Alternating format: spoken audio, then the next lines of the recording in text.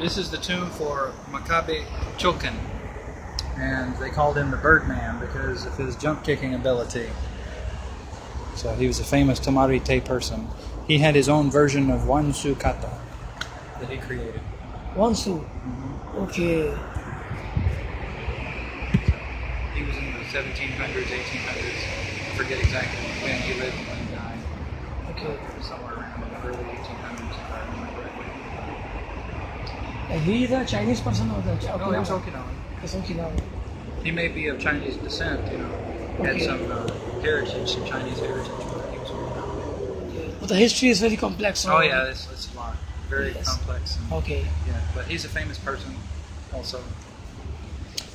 Sensei Andy का कहना है कि ये अ, जो सेंसी हैं ये सबसे पुराने सेंसियों में से हैं कराटे के और जो कराटे जब थी भी नहीं तो मे बी के माइग्रेटेड थे चाइना से इनकी खूबी ये थी कि ये जंप किक और जो हम अक्सर कराटे के अंदर किक्स को महसूस करते हैं देखते हैं ये लोग जंप कर रहे हैं बैक किक कर रहे हैं उड़ के किक कर रहे हैं तो ये बटरफ्लाई मशहूर थे अपनी इस कराटे की दुनिया के अंदर तो और ये कुछ writing how is old Uh, this is not the original tomb. Maybe it's a, it's a newer tomb, but uh, I don't know. I'll try to find these dates, birth and death for you. Okay uh, इनकी को ना date का पता चल सका है अब तक ना हिस्ट्री में ये दोबारा देखना पड़ेगा कि इनकी क्या डेट ऑफ़ बर्थ है क्या कब के थे ये।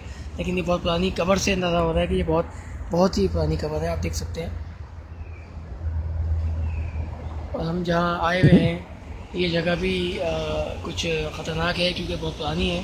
और यहाँ पे स्नैक्स वगैरह यानी सांप वगैरह भी हैं। सो हमें बहुत केयरफुल होकर यहाँ पे आना पड़ा है। और आवाज़ें हम बहुत सुन चुके हैं रास्ते में। फिर भी हम यहाँ पे ये वीडियो बनाने के लिए आ गए और इस वक्त भी जो है वो आसपास कुछ सांप मैंने बिल्कुल सामने चलते हुए देख लिए हैं मगर वीडियो क्योंकि बनानी है और सर्च करनी है तो इसमें चीज़ें ये होती हैं तो आई थिंक होप कि आपने ये वीडियो देखी और आपको ये भी पसंद आई होगी history is begin now so research is still go on Nagamine Sensei wrote about him in his book, Tales of Okinawa's Great Okay. Masters. Mhm. Yeah, uh, it says he. It says uh, there was a hospital owned by Taira Masa, which was situated in Shuri's Tonokura district before the war. This was the same site where the Makabe estate once stood. Makabe's residence covered an area of 360 tsubo, which is 1,188 meters, and many kinds of budo training equipment were located there. Makabe Choken Okina is said to have trained there every day. Thanks to the Taira family, I enjoyed the privilege of inspecting a footprint on the ceiling of the guest house, put there, rumor maintains, by Makabe himself while demonstrating a jump kick. I went there with the interest of confirming it with my own eyes. Using my eyes to compare the height of the ceiling in the old style residence to those of other Okinawan style homes, I would say that it was over four meters high. Makabe Choken was born the fourth son of Makabe Aji Chogi, whose Chinese name was Jigenho, during the time of King Shoboku. Chokin's childhood name was Umijiru, and his Chinese name was Kolbundin. He grew quite large during his youth, and by the age of 15 or 16, he developed into an enormous man of muscle.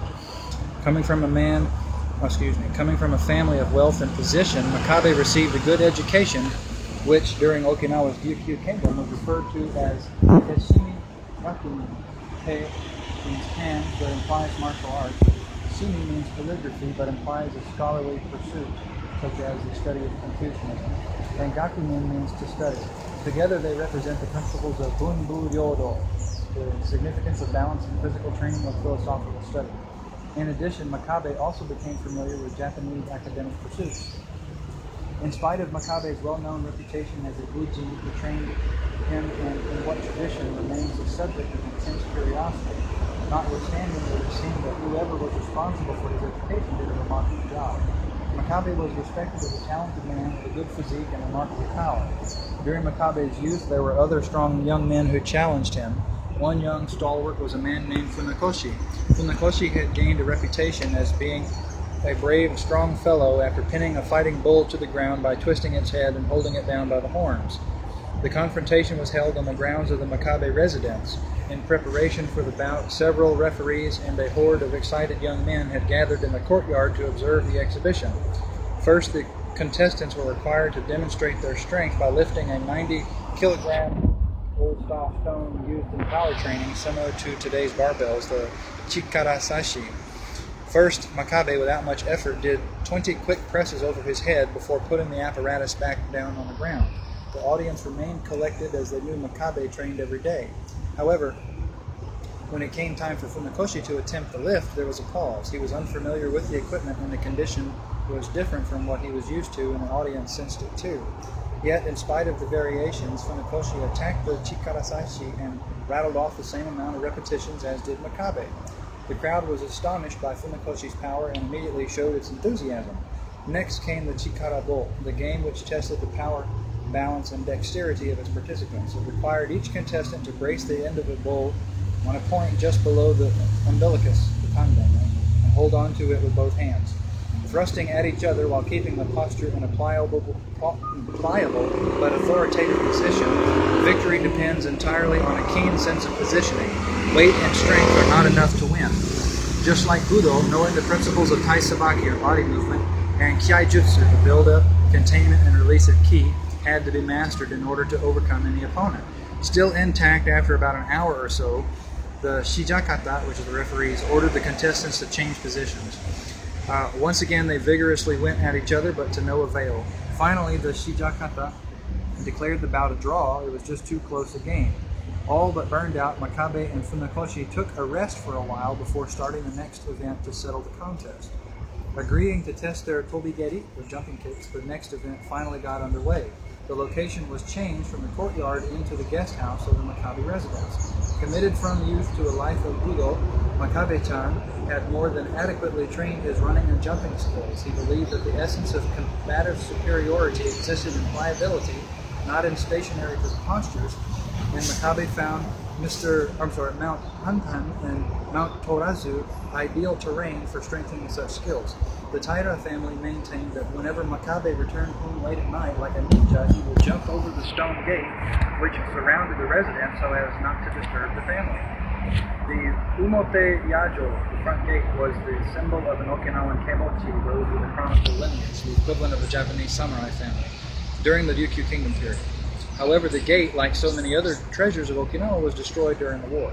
Generally speaking, a big man is usually strong but lacks mobility. However, Makabe-chan was the exception to the rule. Incidentally, the suffix chan is a term which refers to a small, quick, and brave fighting rooster. Hence, this nickname has led many to be erroneously believe that Makabe was a small person. In 1944, Makabe Chosho, a sixth generation descendant of Makabe-chan, visited me at my request the owner of a tea business in Naha's Higashimachi, he was kind enough to provide me with the family genealogy. His assistance was of enormous value to my research. However, my analysis along with his family records were unfortunately destroyed during an air raid on October the 10th, 1944. I am deeply sorry that I was unable to take better care of the Makabe family records. Helping to corroborate Makabe-chan's actual size, Chosho-san recounted a story which I would like to impart.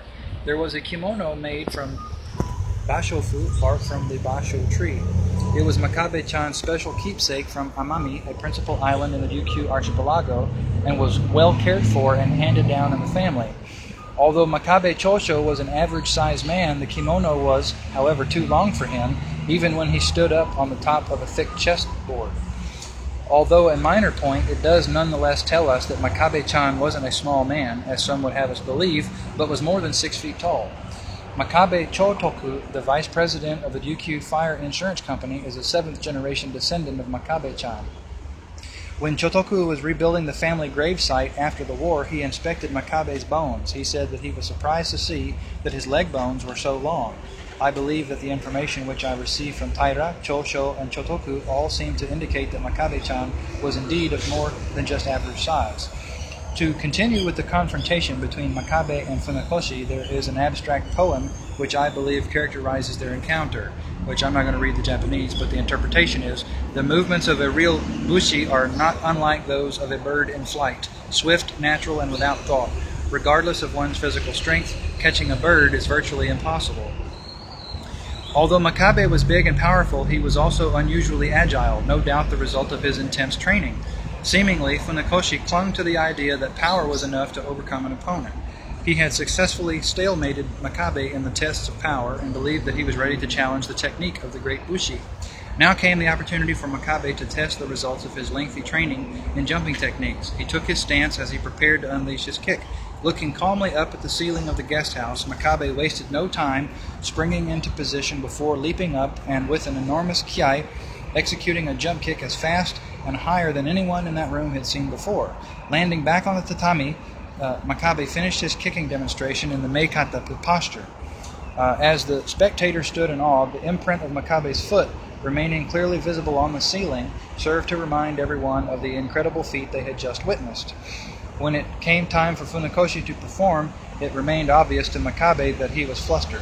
Having never even seen, let alone practiced a jumping kick, Funakoshi scrambled to learn. Attempting to duplicate that which he had just observed, Funakoshi, in spite of Makabe's friendly advice, fell flat on the back of his head, unconscious. By the time the fallen Funakoshi finally came to, he realized that he had been outmatched and was often, and as was often the case in those days, asked Makabe to become his teacher.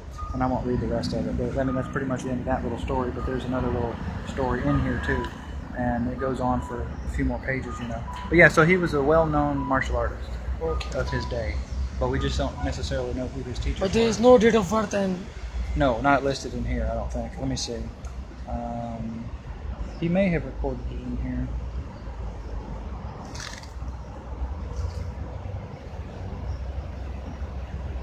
No, there's not. It's, it's I think it's like the late 1700s, maybe Okay, early okay. 1800s. Yeah, so it's a long time ago. So